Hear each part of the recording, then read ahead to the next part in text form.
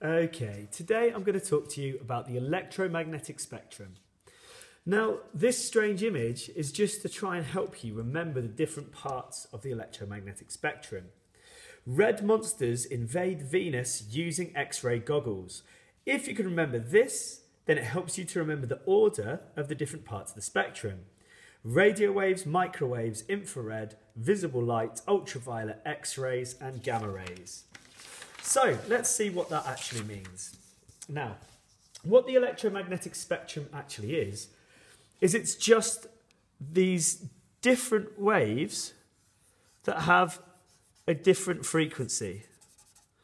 So, um, at one end, remember red monsters, at one end we have radio waves. So these ones have the longest wavelength. Remember, wavelength is just the distance between either two peaks or two troughs of a wave. And it, so it has the uh, longest wavelength. And it also has the lowest frequency.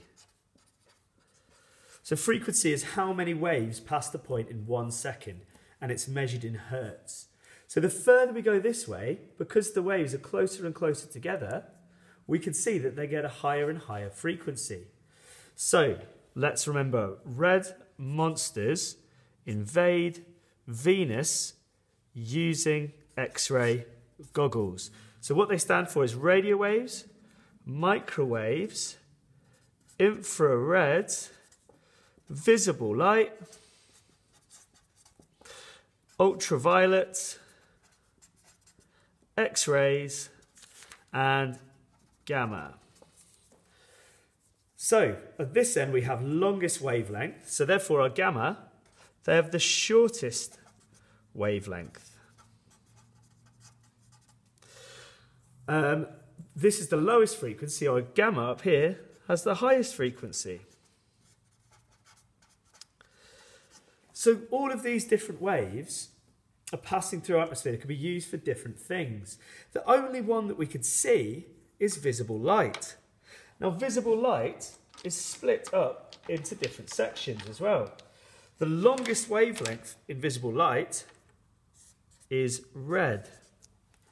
So we've got something to remember. Hopefully you learnt this at primary school, the colours in a rainbow. Richard of York gave,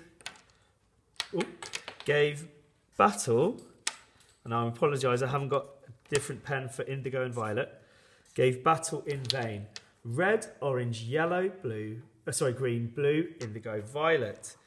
So this means red is the part of the visible light spectrum that has the longest wavelength.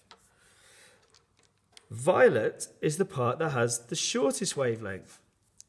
So all of these different colours appear different due to their different wavelengths.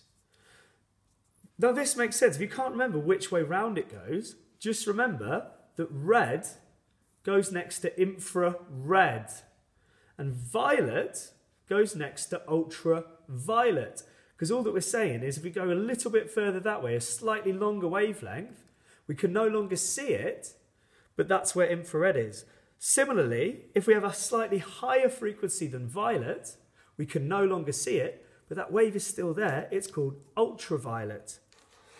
So those are essentially the different, that's the basic overview of the electromagnetic spectrum based on wavelength and frequency the different parts of the spectrum, including the different parts of the visible light spectrum, and this technique that should hopefully help you remember. Red monsters invade Venus using X-ray goggles. Radio waves, microwaves, infrared, visible light, ultraviolet, X-rays, gamma. Thank you.